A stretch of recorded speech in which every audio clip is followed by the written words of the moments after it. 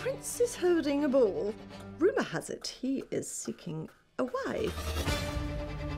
Mother, Stepmother. permit me to go to the prince's ball. Cinderella, I really do not want to beat you.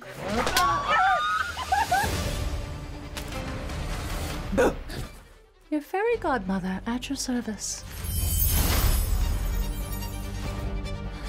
It can't be.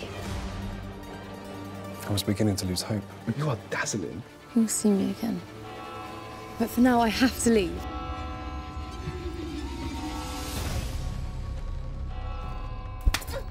The prince would never knowingly marry a lowly wench such as yourself. Give it a Madam, try. your foot's too big. Those three are pure evil. I want them to suffer just as much as I have. This mask will give you the strength and power to kill those who wish you harm. Cinderella's revenge. How sweet it'll be.